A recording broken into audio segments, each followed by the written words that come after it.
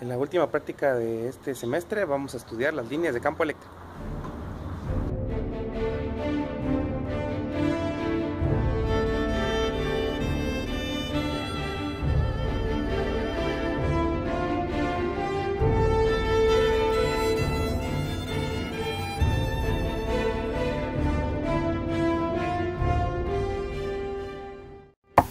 Necesitaremos una bandeja, una varilla metálica, un aro forrado con papel aluminio, unos cables banana lagarto, beaker, plasticina, el sensor de voltaje que se distingue por tener esta terminal, tiene este tipo de conector y luego un papel milimetrado que hay que rotularlo de ambos lados para que sea fácil leer las coordenadas.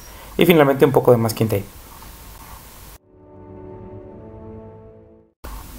Lo primero que hay que hacer es pegar el papel milimetrado en la parte de atrás de la bandeja utilizando un poco de masking tape.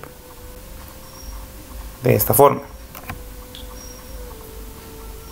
Si la bandeja es muy pequeña debe recortarse con una tijera para que quede lo más ajustada posible.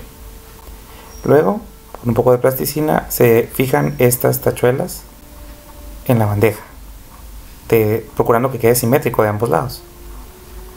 En esas tachuelas haremos la conexión con estos eh, cables. Las terminales van conectadas a eh, la parte de la salida de la interfaz, ya sea de la interfaz de esta de color negro o las interfaces 850 más nuevas. Los lagartos del otro lado se conectan en las puntas de las tachuelas. Y el sensor de voltaje que tiene esa terminal se conecta en canal A y la parte más importante es unir estos dos extremos. Observen cómo se colocan con un poco de masking tape. Tienen que quedar lo más separado entre sí posibles. De esta forma. Y se va a medir. Ahora agregar un poco de agua. Va a requerir un poco más de un litro de agua para llenar de tal manera que cubra la punta de las tachuelas. Tienen que quedar cubiertas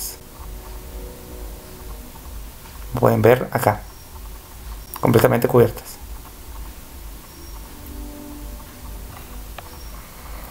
Ahora para la segunda distribución usaremos esta varilla. Ven que la colocamos así se zafa. Entonces lo mejor es colocarla directo en la plasticina y el lagarto debe quedar agarrando la varilla de esa forma. Las líneas de campo se formarán así y mediremos de esta forma con el sensor Finalmente para la tercera usaremos un poco de plasticina, bastante plasticina. Aquí vean que la bandeja está vacía, no tiene agua. Se le coloca bastante plasticina en el borde, dándole forma.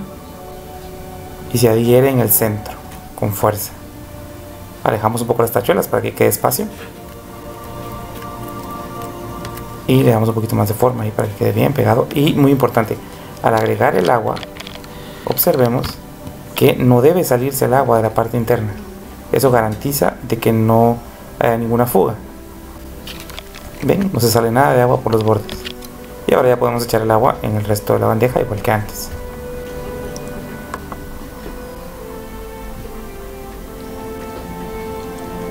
La teoría dice que es lo que pasa cuando tenemos líneas de campo en presencia de ese conductor. Vean que las cargas solo se colocan igual en las tachuelas. Y volvemos a medir. Sería interesante ver cómo quedan las líneas originales de la primera parte, de la primera parte y cómo queda el campo adentro del conductor cerrado. Eso es todo.